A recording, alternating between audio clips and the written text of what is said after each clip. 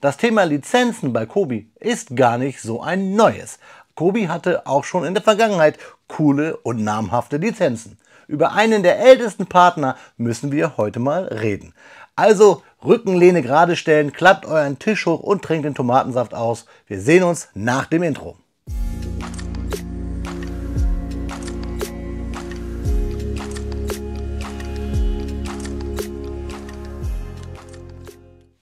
Willkommen in der Noppenklötzchenscheune. Mein Name ist Blockstar und diese typische Handbewegung, die ich immer mache, haben auch irgendetwas von Stewardessen oder von einem Parkeinweiser auf einen Flughafen. Denn wir sprechen heute über den Großflugzeughersteller Boeing. Eine Lizenz, die es bei Kobi schon länger gibt. Ich habe hier eine Boeing 737 zum Beispiel aus 2000 12. Aber wir wollen gar nicht so weit in die Vergangenheit gehen, denn wir gucken in das aktuelle Jahr, in den aktuellen Monat sogar. Ich möchte euch heute nämlich die große 747, den Jumbojet, vielleicht das bekannteste Flugzeug von Boeing vorstellen, hier in der First Flight Edition aus 1969. Also Freunde, ich lade euch jetzt hier auf ein spannendes Video ein. Wir sprechen natürlich über Boeing und vor allen Dingen über unseren Jumbojet und wir klären auch, warum der überhaupt Jumbojet heißt.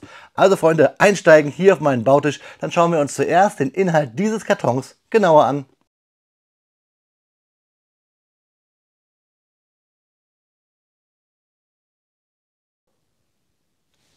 Da fliegt unser Jumbo den Sonnenaufgang oder Untergang entgegen. Unsere Boeing 747 in der First Flight Edition. Dieser Erstflug fand ja 1969 statt. 1051 Steinchen ist das Set schwer und kommt im Maßstab 1 zu 144 auf den Bautisch. Die Setnummer ist die 26609 und ich kann euch sagen, dass alle Sets, auch die alten, hier in dieser Serie im 26.000er Nummern Bereich sich bei Kubi wiederfinden. Schauen wir uns die Rückseite unseres 1051 Steinchen schweren Kartons mal an, der trotzdem sich ziemlich leicht anfühlt. Wir haben hier eine schöne, hoffentlich schöne Bedruckung mit diesen blau und roten und schwarzen Applikationen, die Fensterchen. Wir sehen, dass unsere 747 46 cm lang wird, 15 cm hoch und eine Spannweite von 42 cm hat. Ich kann euch also sagen, ein Flugzeug, was eigentlich viel größer ist als dieser Karton und auch Platz im Regal braucht. Hier haben wir einmal ein Originalfoto. Die Fakten bekommt ihr alles gleich auf den Infokarten. Und was ich besonders cool finde, ist, dass wir hier das Cockpit abnehmen können und dann in dieses schauen. Und wir bekommen auch einen kleinen Teaser von der Unterseite, die sich richtig sehen lassen kann, schon jetzt auf den ersten Blick. Ja, Freunde, dann machen wir jetzt auch hier unseren First Flight und lassen den Karton einmal fliegen. Ja, Freunde, da liegt der Inhalt des Kartons auf dem Bautisch sowie die Anleitung. Wir haben hier eine Tüte 1, wir haben eine Tüte 3 und eine Tüte 2 und sehen auf den ersten Blick schon große bedruckte Paneele. Ich bin echt gespannt, wie die Qualität der Drucke hier ist. Sonst viele schöne Kubisteine, hauptsächlich in Grau und Weiß gehalten. Packen wir diese mal an die Seite, die öffnen wir ja eh gleich beim Speedbild. Schauen wir uns aber einmal die Anleitung an. DIN A4 Klammer gebunden. Hier hat sich ein bisschen blaue Farbe am Knick abgesetzt und wir haben hier den Hintergrund natürlich ausgeblendet, typisch Kobi. Altersempfehlungen ab neun Jahren. Ich denke mal, so ein Flugzeug kann man gut mit der Familie zusammen klemmen. Schauen wir uns die Anleitung an auf dem ersten Blick fällt auf, wir haben hier bei der Bauschrittnummerierung so kleine Flieger. Das gefällt mir richtig gut. Haben wir sonst so nicht, sonst nur schlichte Zahlen. Denn euch fällt auf, wenn ihr vielleicht noch nie Kobi gebaut habt, dass es keine Seitenzahlen gibt, nur diese Bauschrittnummerierung, die halt hier einen schönen Flieger hat. Wir fangen an mit der Tüte 1. Die reißen wir auf, verteilen uns das nach Bauform, nach Farbe, wie auch immer ihr das machen möchtet klemmen drauf los. Kleine Ergänzung immer zur Anleitung. Wir haben solche Legenden, damit wir wissen, welchen Slope wir nehmen, einen runderen, einen spitzeren, welchen Bracket und so weiter und so fort. In diesen kleinen Rechtecken, wie bei anderen Herstellern, sieht man immer, welche Steine wir brauchen. Pfeile weisen uns den Weg und ganz wichtig, der aktuelle Baustep ist immer farblich. Das seht ihr hier bei der 2. Da ist nämlich die 2 hier in weiß gehalten und der vorherige, hier die 1, ist dann in diesem blau-grau. Fertig sind wir dann, nachdem wir die Tüten 2 und 3 natürlich aufgerissen haben. mit dem Bauschritt 179, wenn wir diese kleinen Finnen hier anbringen an unsere 747. Ich freue mich wie Bolle auf diesen Bau, das kann ich euch sagen. Wenn euch ein Teil fehlt, das kann leider mal vorkommen, dann könnt ihr hier auf den letzten Seiten immer die Teile kontrollieren bei Kobi und dann gleich hier auf der URL bei monieren. Und die letzte Seite ist immer ein bisschen Werbung. Hier alles schön in Boeing gehalten, möchte man fast sagen. Wir haben hier noch die 737-8 und die 7878, den Dreamliner, den habe ich euch schon gezeigt, stelle ich euch vor, sowie die beiden Hornets, die ihr bei mir schon hier oben auf der Kobi-Playlist euch anschauen könnt. Ja, Freunde, wir steigen jetzt ein auf unserem Flughafen BLX, nein, äh, SDR. Ist euch ja schon mal aufgefallen, dass meine Kürzel, die ich im Namen meines Logos benutze, alles Kürzel für Flughafen sind? Ihr könnt ja mal reinschreiben in den Kommentaren, welche Flughäfen hier gemeint sind. Also, ich wünsche euch jetzt ganz viel, fast elefantösen Spaß bei den Fakten und mir beim Klemmen, liebe Freunde.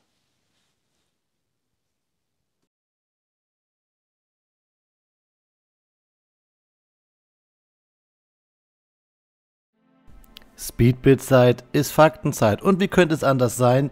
Wir beleuchten heute die Geschichte der Boeing 747, auch bekannt als Jumbojet. Warum dieses Flugzeug Jumbojet heißt, klären wir aber später in diesem Video. Also dranbleiben lohnt sich heute besonders. Dieses Flugzeug aus dem Hause Boeing hat nicht nur die Luftfahrtindustrie revolutioniert, sondern auch die Art und Weise, wie wir über globale Reisen denken. Begleitet mich, während wir die Entstehung, die Evolution und die unglaubliche Wirkung der Boeing 747 in diesem kleinen Text, während ich hier klemme, erkunden. Die Geschichte der Boeing 747 beginnt in den 1960er Jahren. Angesichts eines wachsenden Bedarfs an größeren und leistungsfähigeren Flugzeugen begann Boeing 1965 mit der Planung des größten Verkehrsflugzeugs der Welt. Das Projekt, das unter der Leitung von Joe Sutter stand, einem der talentiertesten Ingenieure Boeings, mündete am 9. Februar 1969 in den Erstflug des Prototyps. Dieser Flug markierte den Beginn einer neuen Ära in der zivilen Luftfahrt. Die Boeing 747 war eine technologische Meisterleistung. Sie war das erste Flugzeug mit einem breiten Rumpf und zwei Passagierdecks, was sie zur ersten echten Jumbo machte. Mit einer Länge von 70,66 Metern und einer Spannweite von 59,64 Metern konnte die ursprüngliche 747-100 bis zu 366 Passagiere in einer typischen Dreiklassenkonfiguration befördern. Eine der ikonischen Innovationen der 747 ist das Oberdeck, das oft als Bubble bezeichnet wird. Über die Jahre wurde die 747 in verschiedenen Varianten produziert, um unterschiedlichen Marktanforderungen gerecht zu werden. Dazu gehören die 747-200, die 747-300 und die weiter verlängerte 747-400, die 1989 eingeführt wurde und mit modernen Avionik- und Triebwerkstechnologien ausgestattet war. Die neueste Variante, die 747-8, wurde 2011 eingeführt und bietet Verbesserungen in Bezug auf Wirtschaftlichkeit und Umweltverträglichkeit.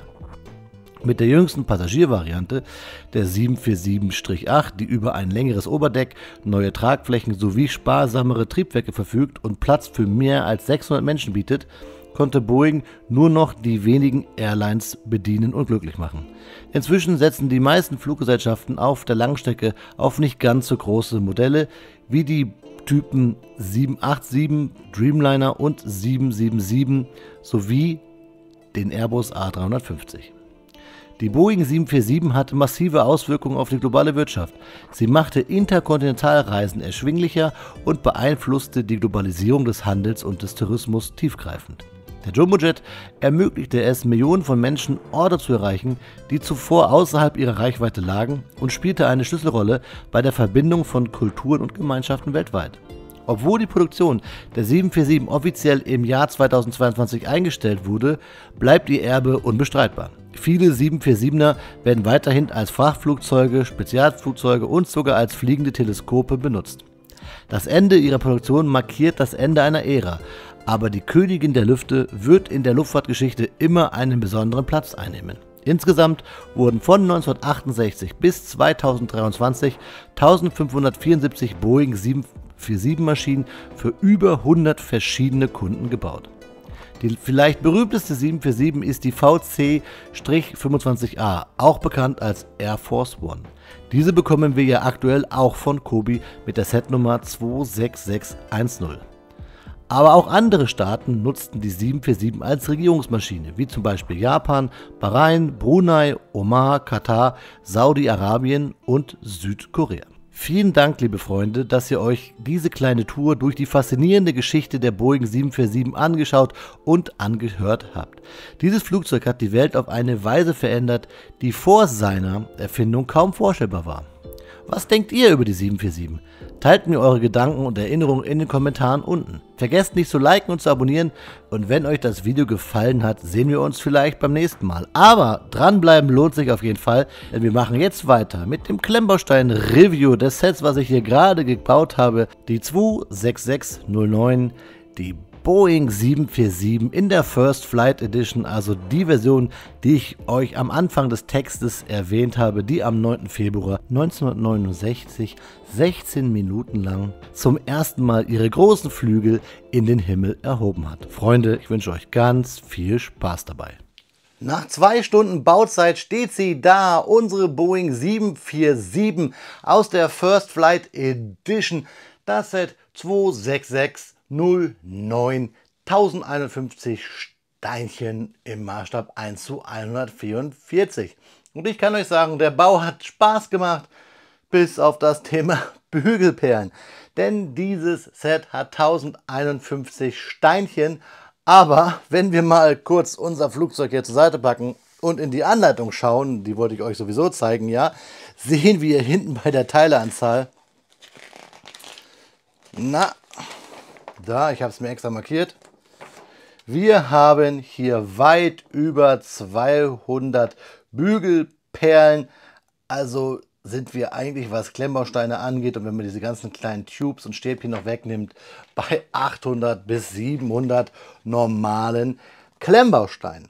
Ich bin eigentlich wirklich d'accord mit diesem Set, aber es hat eine Geschichte, die mir gar nicht gefällt. Die habe ich auch hier markiert und ich kann es euch leider nur so ein bisschen in der Anleitung zeigen. Denn wir packen hier solche Tubes bei den Triebwerken, da seht ihr sie, wie wir sie bauen, auf so eine Achse. Und ich kann euch gleich sagen, das gibt Stressmarken. Das Loch hier ist zu klein eigentlich. Und wer Kubi-Achsen kennt oder Achsaufnahmen, hier diese Bolzen weiß, dass diese dann sofort Stressmarken kriegen. Ich traue mich nicht, das hier rauszuziehen, denn ich habe das Gefühl, dann würde ich hier das abreißen. Das finde ich echt schade, finde ich nicht gut, dass Kubik hier immer so ein bisschen an die Belastungsgrenze seiner Steine geht. Sonst macht das Bauen hier wirklich Spaß, weil wir ein tolles Set haben, zeige ich euch gleich. Aber wir noppen halt ziemlich viel Bügelperlen auf, bis zum Schluss hier beim Seitenleitwerk und bei den Tragflächen. Also eigentlich überall haben wir Bügelperlen, Bügelperlen, Bügelperlen. Also ihr müsst da so ein bisschen ja, Spaß dran haben, die berühmten Bügelperlen zu verbauen. Ich schmeiße mal kurz hier meine Markierungen zur Seite, damit es nicht raschelt. Dann gibt es noch einen Punkt, der mir nicht gefällt. Das Set kostet bei Kobi 74,99. Wer bei Kobi direkt bestellt, der weiß, dass es die Versandkosten Ersparnis, also dass eine Bestellung versandkostenfrei ist, ab 75 Euro. Wenn ihr vorbestellt, könnt ihr kein anderes Set mit reinpacken in den Warenkorb, also dass ihr hier Porto bezahlen müsst. Deswegen dieses Flugzeug hier bei mir, bei meinem Händler meiner Wahl, findet ihr unten in der Videobeschreibung vorbestellt bzw. dort bestellt. Deswegen auch jetzt erst das Review. Normalerweise verkaufe ich ja immer hier euch verkaufen ist das falsche Wort, kaufe ich bei Kobi oft direkt, um euch bestimmte Sets wie hier so eine First Flight Edition, eine Executive Edition oder gerade die Limited Editions euch so schnell zu zeigen, wie es geht, auch weil ich Sammler bin und natürlich hier das Haben vor dem Warten steht. Und da ist es dann immer ein bisschen blöd, wenn Kobi halt wirklich nur kleckerlisweise Sets veröffentlicht oder bei Vorbestellungen oder Limited Editions nichts anderes zulässt, in den Warenkorb zu packen. Und bei einem 74,99 Euro Set ist es dann ziemlich blöd, weil dann kommt Porto drauf. Das habe ich mir diesmal gekniffen, obwohl ich dieses Flugzeug wirklich, wirklich bauen wollte, weil ich es cool finde, weil es hat eine tolle Historie. Ich habe das Flugzeug nicht in Nürnberg sehen können, weil ich in Nürnberg bei der Spielwarenmesse zwar eingeladen war, aber ich war krank. Aber meine Freundin war da und die hat das Flugzeug dort auch schon gesehen. Damals noch voller Sticker, jetzt voller Prints. Aber die Prints sind so eine Sache, da gehen wir gleich drauf ein. Das Flugzeug hat ja eine Spannweite von 42 cm, was ich euch aber schon mal sagen kann, durch diese Flügelpfeilung, dieses V, wirkt es trotzdem kleiner und ihr habt mehr Platz im Regal und könnt vielleicht so wie ich in meinem Regal, ist ein großes Ikea-Regal, dann zwischen die zwei Räume, Freiräume hier dann noch die Flugzeuge drüber stellen. Also bei mir sehen die Flugzeuge im Regal immer so ein bisschen aus wie so ein Flugzeugfriedhof in der Wüste von Nevada, damit es nicht rostet. Das Flugzeug hat eigentlich auch im Original viel mehr Drucke bzw. Markierungen. Hier unten steht zum Beispiel City of Everett, das ist der Name des Flugzeugs. Plus, dass die ganzen Vorbestellerfirmen wie die Lufthansa, Pan Am, TVA und Co. hier auch noch drauf gedruckt waren. Aber das hat Kubi hier nicht mit drauf gedruckt. Finde ich aber auch gar nicht schlimm, denn es gibt ein Bild von Jack Weddell, das war der Testpilot, eben hier dieses First Flights, damals 1969 der hat so ein Modell in der Hand gehalten und ich glaube, daran hat sich Kobi orientiert, weil es sieht eigentlich fast ganz genauso aus wie dieses Flugzeug hier. Die 747 ist eigentlich dann eine 747-100, beziehungsweise das war die erste, das erste Serienflugzeug und ich meine die erste Luftfahrtgesellschaft, die eine 747-100 bekommen hat, war dann Pan Am, beziehungsweise, glaube ich, dicht gefolgt von TVA. Das Flugzeug steht heute restauriert im Museum of Flight in Seattle und ich verlinke euch natürlich unten in der Videobeschreibung all das, was ich gerade gesagt habe, nämlich, dass ihr dieses Bild findet vom Testpiloten mit diesem Modell und natürlich die Originalfotos, wo ihr auch seht, dass hier viele Aufkleber oder Lackierungswaren von diesen Fluggesellschaften, die die 747 damals vorbestellt hatten. Das jetzt erstmal alles so grob zum Flugzeug an der Geschichte, noch an der Historie, an das, was mich stört. Dann kann ich euch jetzt ja hier mal das Set zeigen in all seinen ja, Facetten, denn es hat ja tolle Seiten und auch schlechte Seiten. Toll natürlich wieder, dass wir hier alles Drucke haben, keine Aufkleber. Wir fangen mal an. Wir haben hier auf dem Triebwerk diese Freedom Eagles, diese Adler, die beim Original irgendwie weiter vorne sitzen, aber egal. Wir haben dann hier, ups, das Fahrwerk fällt ab. Das ist das Gute, Klemmbausteine, man kann es immer wieder draufbauen. So, wir haben hier die Nasenspitze lackiert, das Rot lackiert, die Fenster lackiert, die Türen lackiert, das Boeing lackiert, hier generell die Fenster lackiert. Ja gut, Fenster lackieren ist immer so eine Sache bei Kobi. Also alles cool, vor allen Dingen alles über mehrere Steine hinweg. Das kann Kobi richtig gut. Trotzdem wirkt es bei mir immer ein bisschen hier, finde ich, ein bisschen druckig, äh, druckig, sei schon dreckig. Jetzt ist mit der Flügel gegen die Kamera. Aber hier seht ihr zum Beispiel auch, da sieht es so aus, als wenn da schon jemand im Fenster sitzt. Das ist nicht sauber gedruckt. Dann hier N7470, das erste Flugzeug. Und auch da über mehrere Steine drüber gedruckt. Das ist der Hammer. Und dann natürlich hier das Seitenleitwerk auch bedruckt. Was ich ein bisschen schade finde, ist, ihr seht es vielleicht hier, dass Kobi ja diese bestimmte ABS-Mischung benutzt, um diese Metallicsteine zu ja, gießen. Aber hier sieht es dann immer so aus, als wenn, es ist ja nicht lackiert, es ist ja der Stein, der so ist, aber als wenn er irgendwie platzen würde. Ihr seht hier diese, diese Nasen, diese Verläufe, die habe ich bei all diesen runden Steinen, sieht immer aus wie so ein Y mit einem langen Strich nach unten. Das habe ich auf all diesen gebogenen Slopes. Es sieht so aus, als wenn der Stein von innen platzen würde. Tut's nicht, man spürt hier nichts, aber es sieht halt komisch aus. Da haben wir es. Das gleiche hier, dieses, dieses Y, diesen Verlauf. Mir hat schon mal einer von euch, und dafür vielen lieben Dank, in die Kommentare bei, ich meine, der Mustang, die auch Metallic ist, geschrieben, dass das normal ist, dass es beim Einpressen des ABS in die Form so passieren kann, aber es sieht halt wirklich so aus, als wenn der Stein kaputt gehen würde und das finde ich ein bisschen schade.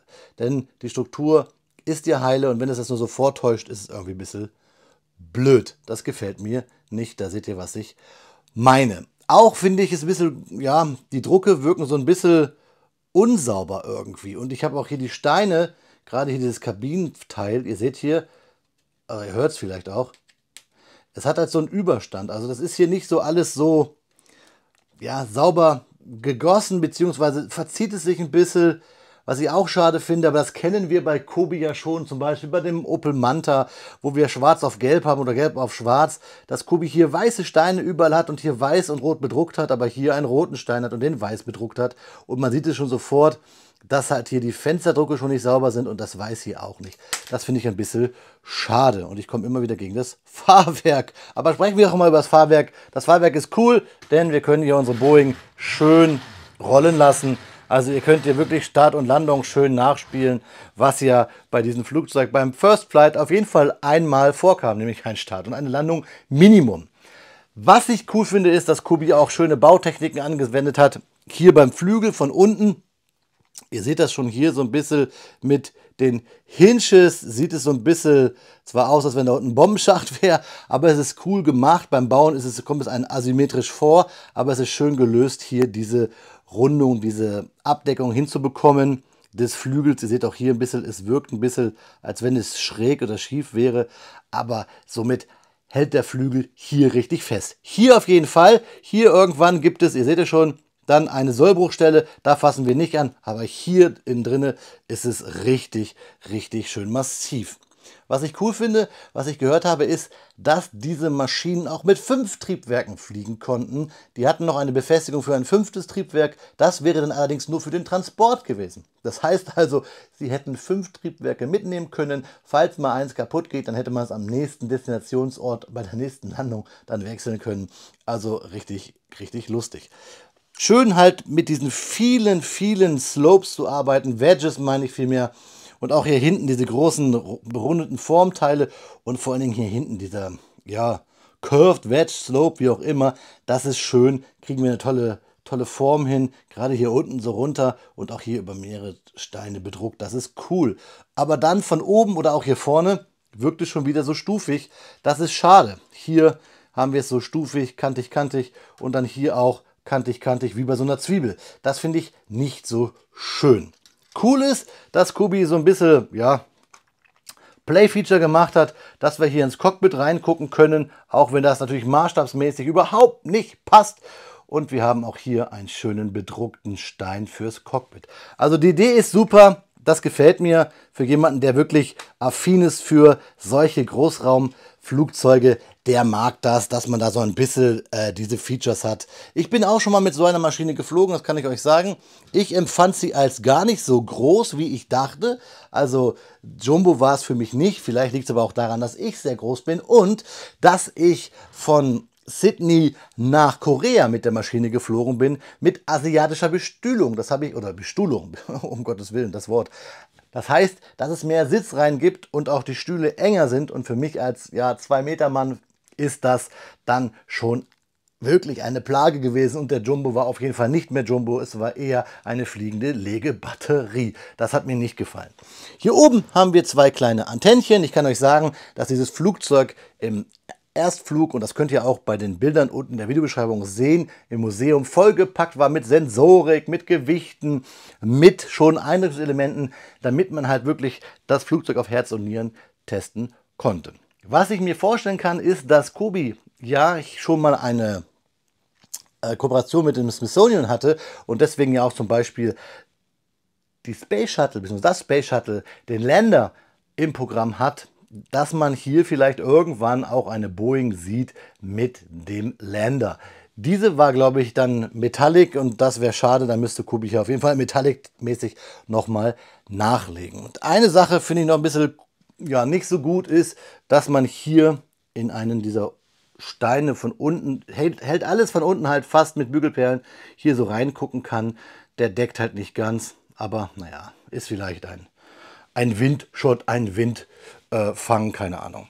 Also dieses Set, da habe ich mich sehr drauf gefreut. Es ist auch okay, dass ich es jetzt habe. Es gehört in meine Sammlung. Es hätte besser gehen können. Und ich bin davon überzeugt, dass Kubi es auch noch besser machen kann und wird.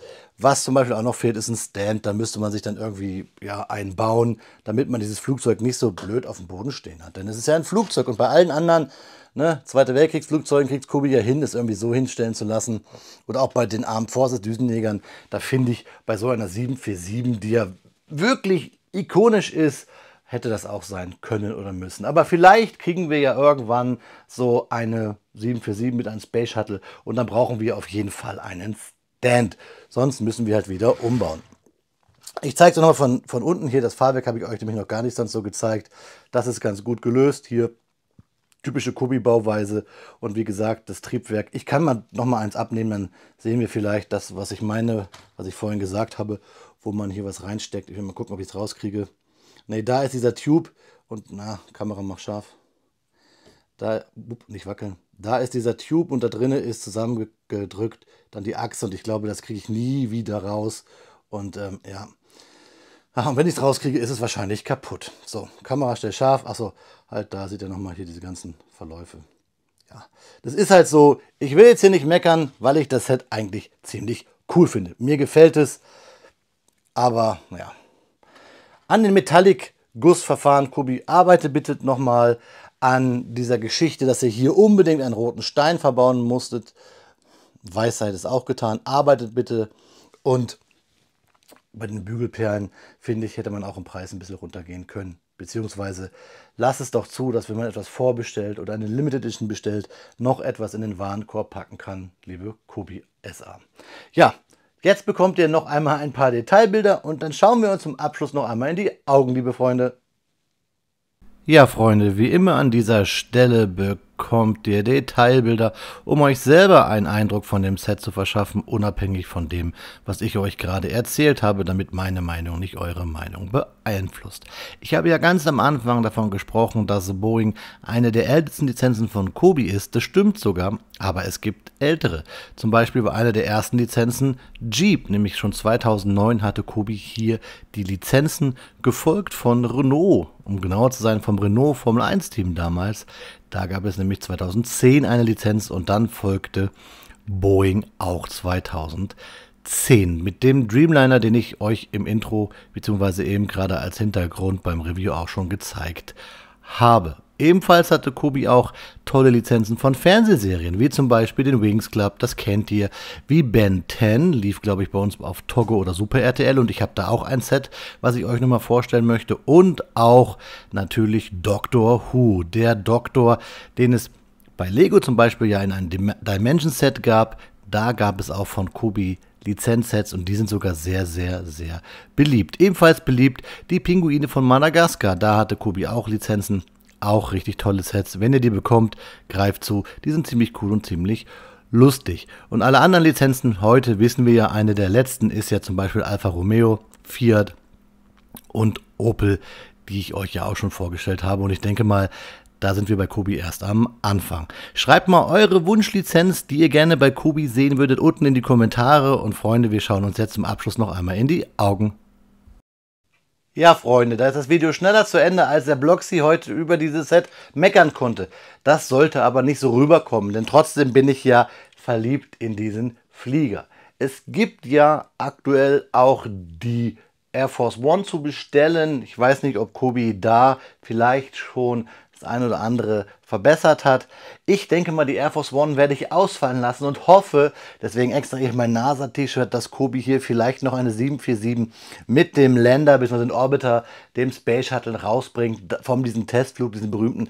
Das wäre ziemlich cool und dass dann die ein oder andere Kinderkrankheit. Dieses First Flight, ich meine, es ist ja auch das erste hier von Kobi ausgemerzt ist. Schreibt mir eure Meinung bitte mal zum Jumbo unten in die Kommentare. Und jetzt noch die große Auflösung. Warum heißt der Jumbo Jumbo Jet? Ganz einfach, weil er riesig ist, weil es diesen Buckel hatte. Deswegen hat man diesen Jumbo Jet Jumbo genannt, weil man meinte, da passen ja auch Elefanten rein. Das war's. Nicht mehr, nicht weniger, Freunde.